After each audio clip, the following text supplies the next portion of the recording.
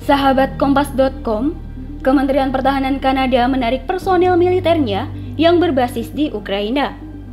Staf diplomatik juga dipindahkan ke Lviv dan operasi kedutaan di Kiev juga dihentikan sementara waktu.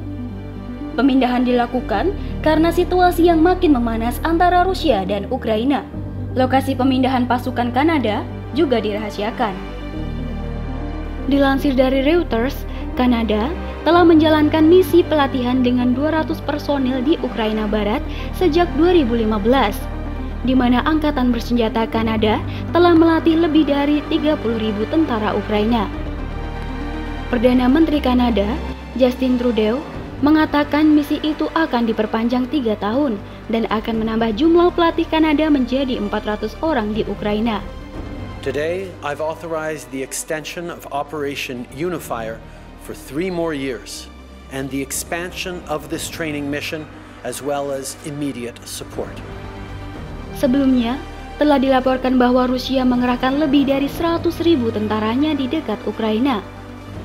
Negara-negara barat khawatir Moskwa dapat menyerang kapan saja.